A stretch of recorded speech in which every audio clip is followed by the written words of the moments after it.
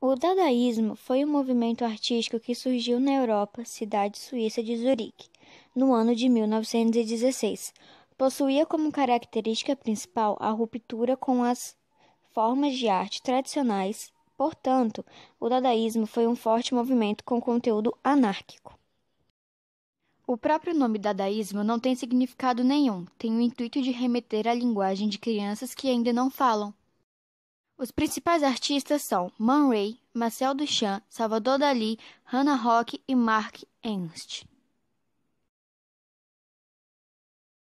O dadaísmo é considerado a radicalização das três vanguardas europeias anteriores: o futurismo, o expressionismo e o cubismo.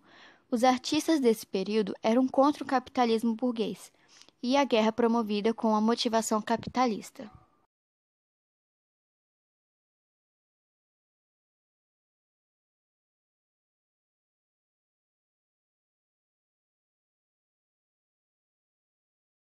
Now the world